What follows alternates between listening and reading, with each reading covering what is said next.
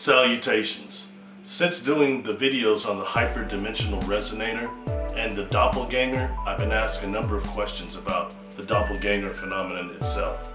I can only correlate it to what I experienced, which is not negative. I've heard some people saying that, some saying it's positive, but I'll come from this from two different aspects and try to correlate it, all right?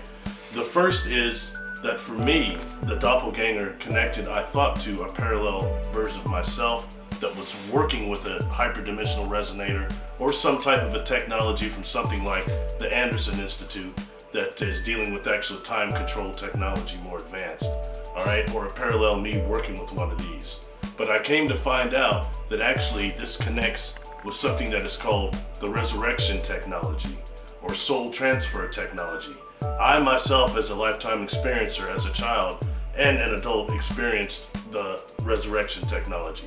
I've seen something that's slightly different than what I've seen other experiencers describe. What I saw was more of a crystalline type of technology, organic crystals, that's more like what our science is now calling a quasi-crystals. I've showed this before. This is an engine I saw as a child. This is about, the quasi-crystals are about nine feet tall by three feet wide. It was used to heal body or human flesh as well as power something as small as big as a planetoid mothership. But this engine was on board a ship that looked similar to this one. These were all drawn drawn for me by Kesara Christine Dennett. Anyway, back to the correlation here. I have been exposed to that, all right? And this is a technology at least thousands of years beyond anything we have.